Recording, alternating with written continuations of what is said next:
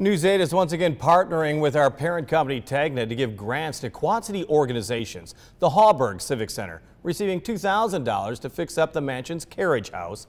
And News 8's Jenna Webster now explains the big plans the center has to open the space for events and for children. It's new tonight on News 8 at 5. So what's going to happen here? The carriage house at the Hauberg estate. So it's really a neat room is getting a bit of an update. So this door will go right where it's at, including new doors and radiators. All the walls have been painted, but some things remain the same. The original air compressor that still works.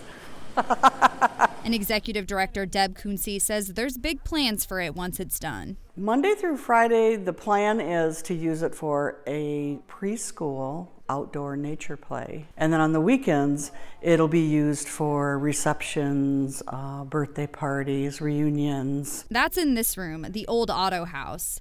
Kunze says a daycare wants to start a new program for kids here. It'd be a great program. I mean, we have ponds, we have a garden, we have, you know, we have Hauberg Field over there that they can play on. There's also plans for a children's art garden. Hauberg has always been a community space for Rock Island. It just keeps getting better and better. But all that costs money. The sprinkler system alone is like, what, 12,000? A $2,000 grant from Tegna will help fund part of this remodel and a local family recently set up an endowment for the center. It takes a lot off of our shoulders. It's a huge validation for us that someone in the community appreciates what we're doing. The Hauberg estate coming a long way from almost being sold five years ago. We're very grateful. In Rock Island, Jenna Webster, WQAD, News 8.